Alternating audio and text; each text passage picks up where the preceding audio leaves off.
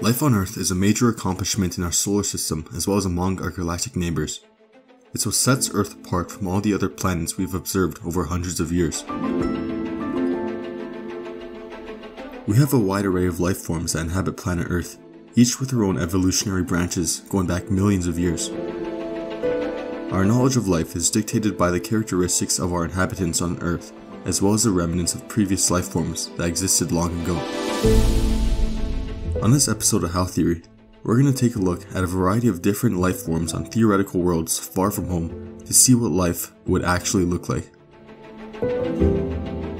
Let's start off by looking at the driving force of advancement for all life, Charles Darwin's theory of evolution.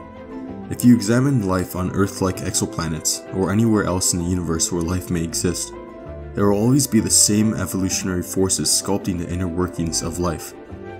By sifting through the history of life on Earth, we encounter many repeating patterns and features that we can use to predict what our galactical neighbors might look like. One very common feature are the eyes. The eyes from insects, mammals, and octopuses were all developed independently from one another. Of course, there are many important differences between the eyes of these three life forms, but the concepts are inherently identical. Some animals use different ways to map their surroundings, such as infrared light for bats and echolocation for whales. What's important is that every complex life form will have a specific method to visualize its surroundings, and the method that evolution favors the most are eyes. Evolution also has a tendency to prefer symmetrical bodies because almost every single life form we know of is symmetrical. Scientists say the reason behind this symmetry is to create a center of mass in which we can traverse and manipulate the environment without losing balance to Earth's gravity. Earth's gravitational pull is responsible for much of the evolutionary characteristics that define us from other worlds. As the gravitational forces emitted by a planet increases, large and complex life would either have thicker and stronger bones, or be significantly smaller and shorter to weigh less. Another species of life that will see drastic changes are plants. On Earth, plants grow vertically in order to capture as much sunlight as possible, but this method is put on trial when other important factors are changed. We'll see how plant life may adapt to the environments of the exoplanets, which we'll be exploring shortly. All life on Earth has adapted to the sun at the center of the solar system, and our eyes have adapted to its visible light spectrum. However, stars come in all colors and sizes, and even small differences of magnitudes but we imagine life as we know it. Let's now embark on a journey to different life-hosting star systems around the galaxy to explore fictional worlds in order to see what kind of life forms evolution would breed.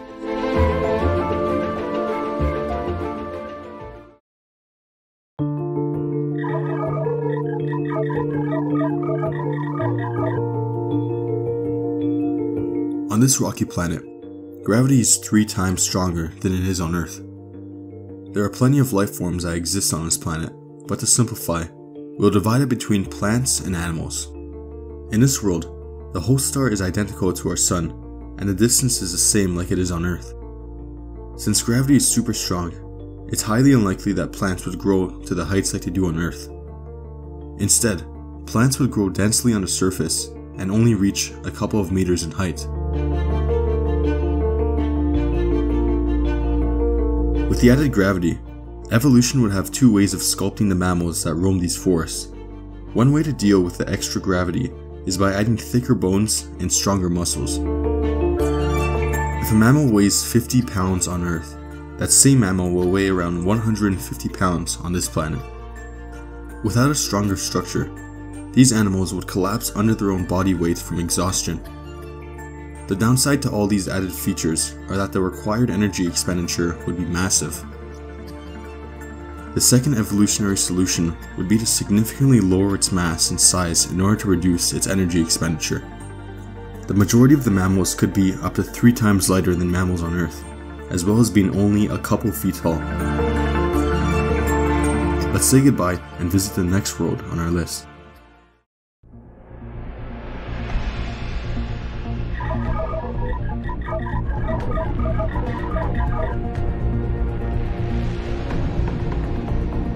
On this world, Gravity is 5 times less than it is on Earth, and a host star is a tiny red dwarf that provides just enough heat and light for life to survive. Due to these rough conditions, the only major life forms that have existed so far on this planet are simple plant-like organisms. This planet is currently going through its Paleozoic explosion like it happened on Earth 542 million years ago. The plant life on this exoplanet is extraordinarily different than any other plant life we've ever seen. Since the energy of the sun is so low and gravity is so weak, evolution would favor taller plants because they can grow vertically and grow as much leaves as possible to capture all the sunlight. There could be forests with plants up to 300 meters tall. Even with all this vertical space to gather energy, it's unlikely that this would be enough energy since the sun is so dim. One way evolution would handle this shortcoming is by absorbing every single wavelength of the visible light spectrum from the host star. On Earth, plants absorb every color of the wavelength except for green, which is reflected. But on this planet, plants can afford to reflect energy, thereby creating plants that have pure black leaves and stems. Let's say our goodbyes and explore the next two planets on our journey.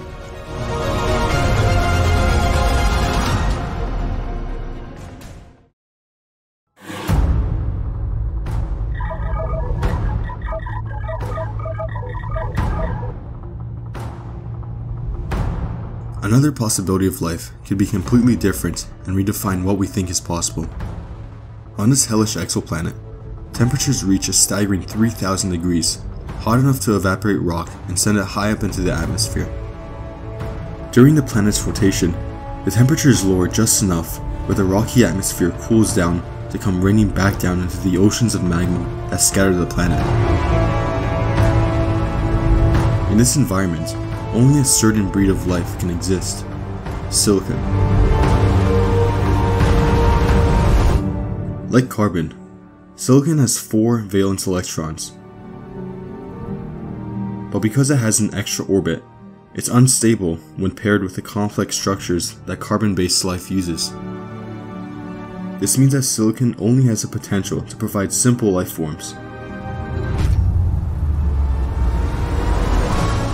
However, these life forms can survive the coldest of winters and the hottest of temperatures. On this planet, these microscopic life forms have been living in the deep magma oceans that cover this planet for millions of years, and it's unlikely that they will ever evolve into more advanced intelligent life. Let's leave these microbes and visit our final exoplanet.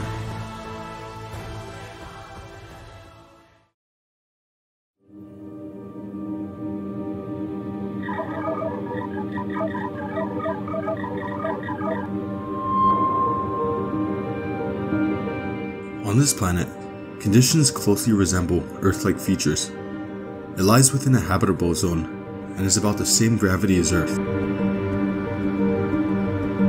However, the life on this planet will redefine what we think life is.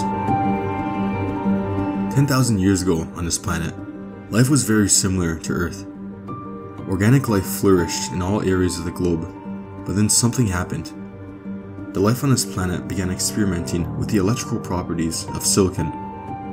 Soon enough, these silicon devices began pushing the boundaries of what anyone thought was possible. Communication between anywhere on the globe was instant, and all the knowledge created by anyone was available for playback anywhere at any time. But this isn't where the story ends.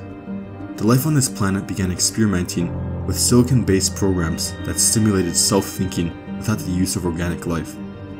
The pairing of silicon and its properties with the self-thinking of artificial intelligence created something that redefined life as we know it. However, as the crucial resources for humans like water and food were running short while overpopulation flourished, life was given two crucial options. Allow the effects of overpopulation and shortages take its toll and take detrimental losses in population, or evolve as a species and merge with the AI, thereby ridding themselves of their biological limitations. The latter was chosen, and this ended the era of biological beings and spawned in the new era of hyper-advanced cyborgs.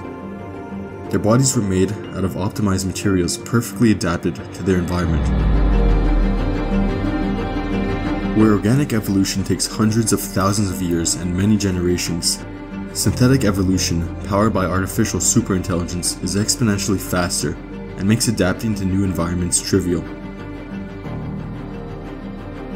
It's likely that if a human civilization keeps innovating at the current rate, we'll face a similar dilemma as our cosmological neighbors did be constrained by our organic limitations, or merge with artificial intelligence at the expense of our organic roots.